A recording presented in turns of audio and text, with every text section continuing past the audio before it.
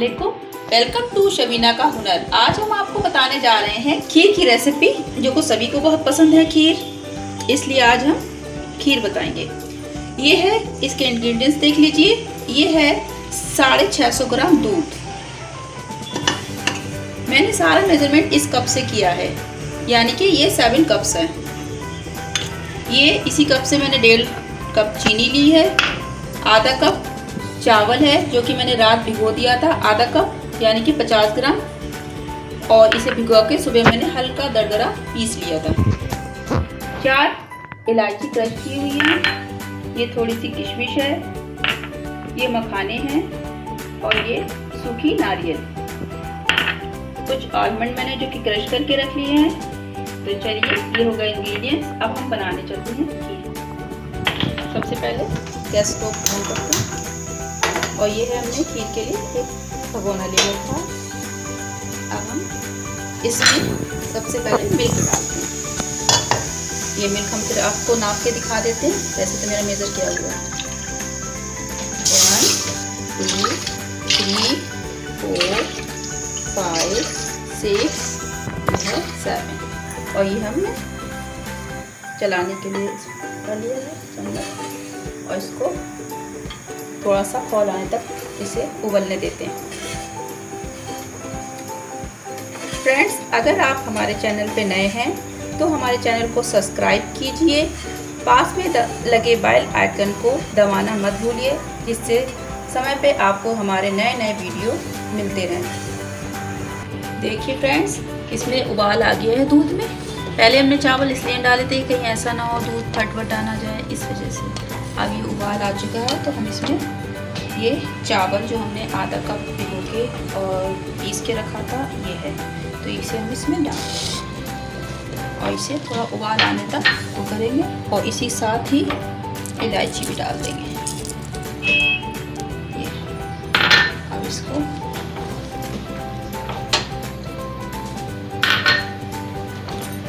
चलाएँगे उबाल आने तक फिर से।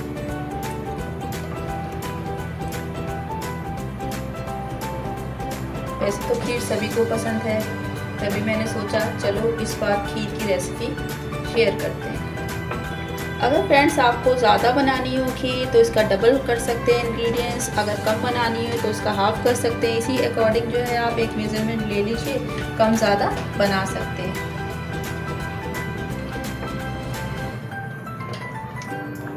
मैंने कप का यूज़ किया है, आप कटोरी का कर सकते हैं, गिलास से नाप सकते हैं और इसको बना सकते हैं।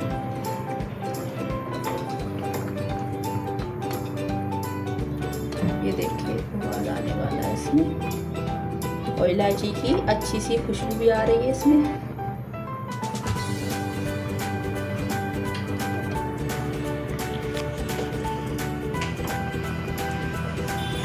फ्लेम जो है इसका हाई पे कर दीजिए, जिससे जल्दी उबाल आए। और नीचे बराबर ही आपको चलाते रहना है। जिससे कि नीचे कड़ी ये खीर को लगे ना, और तली में। नहीं तो फिर जलने की खुशबू सी आ जाती है, फिर खीर का टेस्ट ख़राब सा लगता है। बराबर इसको चलाते रहिए।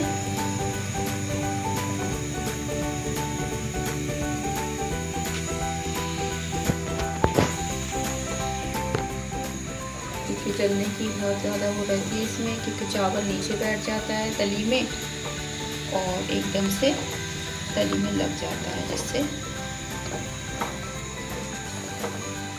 जलने की स्मेल आ जाती है और खीर का टेस्ट बिल्कुल ही बेकार होता है। देखिए, उबाल आने लगा है। अब हम इसको जो है, इस स्टेज में क्या करेंगे? गैस का फ्लेम बिल्कुल सिंपल को स्लो कर देंगे और इसे कवर कर देंगे और थोड़ा सा हल्का सा खोल देंगे जिससे कि खीर जो है ऊपर ना आए। और इसे 15 मिनट्स के लिए ऐसे ही पकने देंगे जिससे हमारा चावल कुक हो जाए। अब देखते हैं इसे चेक करके। 15 मिनट हो गए हमारे इसे पकते हुए और चावल भी हमारा गल गया है। और हमने बीच बीच में एक दो बार चला भी दिया था, जिससे मैंने बताना भूल गई थी। तो बीच बीच में आप चलाते भी रहिए एक दो बार। अब हम इसमें जो है चीनी डालेंगे। देख लीजिए वैसे तो मैंने मेज़र की हुई, फिर भी मैं आपको एक बार दिखाती हूँ।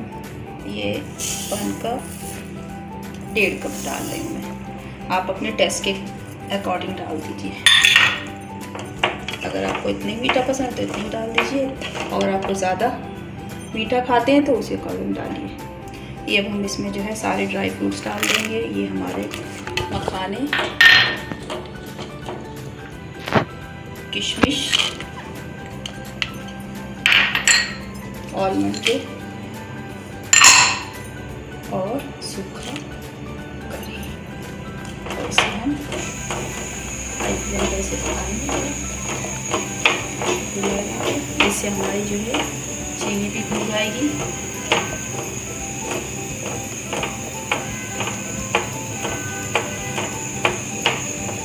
तो अब इसे हम फिर सिम आँच पर कर देंगे बिल्कुल, और इसे पाँच मिनट तक ऐसे ही बंद कर देंगे, आधा कवर करेंगे।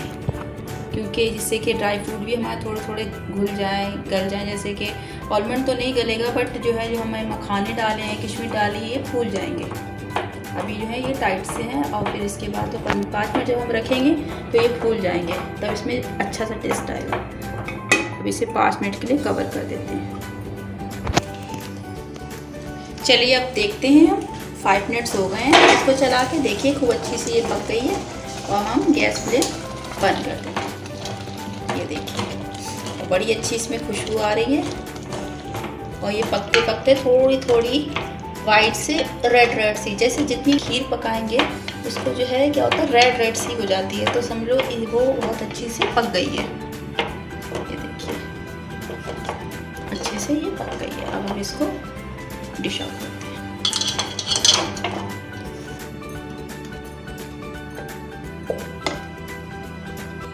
अब ये जो है, मैंने इसे डिश में डाल ली है और थोड़े से ये नट्स वगैरह ये हम इसमें गार्निश करने के लिए ऊपर से डाल देंगे। ये अलग से मेरे कटे हुए रखे थे, मैंने वही डाल दिए इसमें। आप चाहते तो उसमें से बचा सकते थे। ये देखिए। ये देखिए, हमारी खीर जो है बनकर तैयार हो गई। बड़ी टेस्टी बनी है ये खीर। दोस्तों, अगर आपको हमारी रेसिपी पसंद आई हो तो इसे लाइक कीजिए और शेयर कीजिए। Thank you.